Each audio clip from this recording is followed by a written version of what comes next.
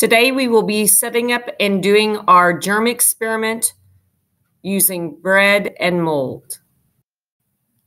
The supplies that you would need for this experiment is four pieces of bread. We highly recommend that you use fresh baker's bread for faster results, a permanent marker to write on your Ziploc bags, four Ziploc bags, and some gloves or tongs.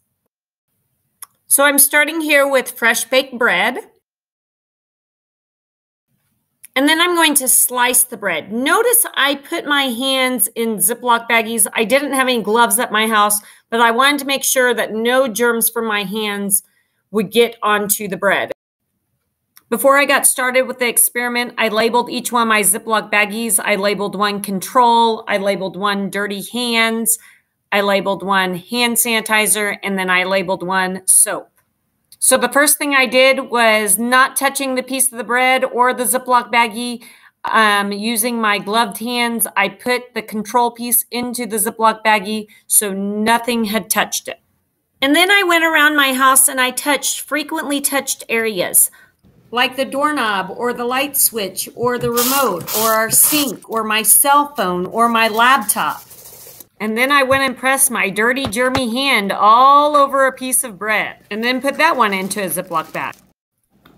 Then I went and got hand sanitizer on my hands. Make sure you rub the hand sanitizer until it is dry. If you leave it and touch things while it's still wet, it's going to spread germs just like wet hands. Then I touched that dry sanitized hand all over the piece of bread. And then I put that into a Ziploc bag.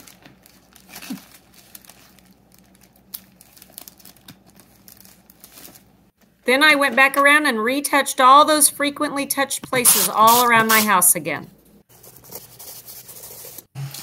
And then I washed my hands for 20 seconds. You can even sing the ABCs if it helps you to pay attention to the time.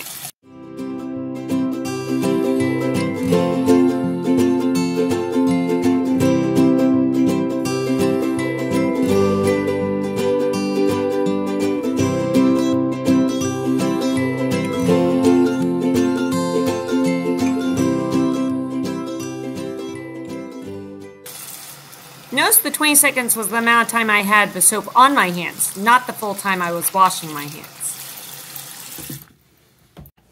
And then I went and touched my last piece of bread with my clean hands.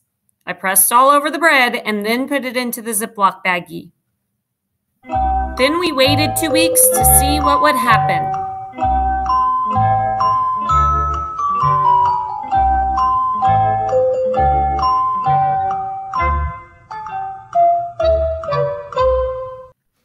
I was very proud of my control bread because no mold grew on it at all, which tells you that if you freshly bake bread and put it away without anything touching it, it can stay good for over two weeks. So then I was curious about how my dirty hands, my hand sanitizer, my soap hands all turned out. And the results were disgusting. The dirty hand bread was completely covered in yellow and green mold. The hand sanitizer made me feel a little bit better because it wasn't completely covered in mold, but there were still some yellow and green mold spots on it, which meant that the sanitizer didn't kill all of the germs. The soap one made me feel so much better. There was only one spot of mold on the entire soap piece of bread. So there you have it. The soap did the best job. Of course, I made sure I kept the soap on my hands for at least 20 seconds before I rinsed my hands off.